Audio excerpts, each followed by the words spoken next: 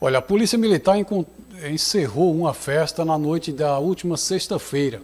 Isso aconteceu após uma denúncia de perturbação de sossego na zona rural da cidade de Monteiro.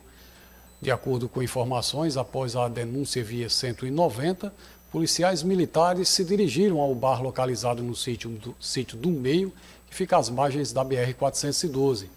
Quando a guarnição chegou ao local, constatou que havia uma festa com som automotivo em nível sonoro muito abusivo.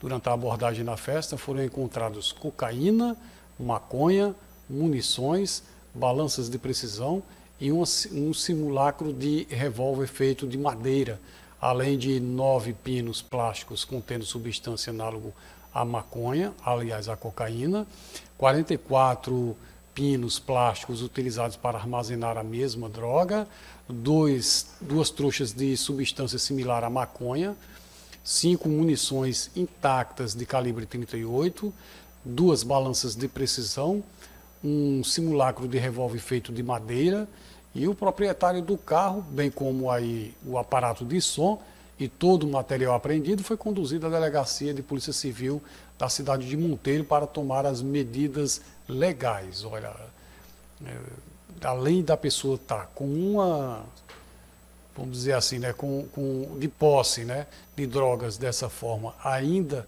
abusando no som, estava pedindo mesmo para que a polícia viesse até eles. Né? Isso não é nada, droga já não é legal e atitudes como essa de perturbação do sossego alheio, pior ainda também. Né?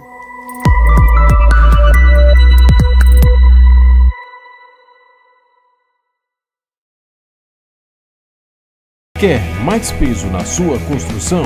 Procure a Lajex.